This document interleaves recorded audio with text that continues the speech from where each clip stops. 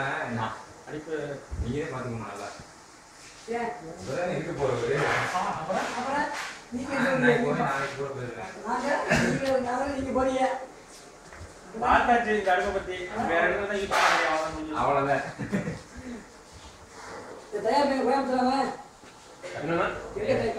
Coimbatore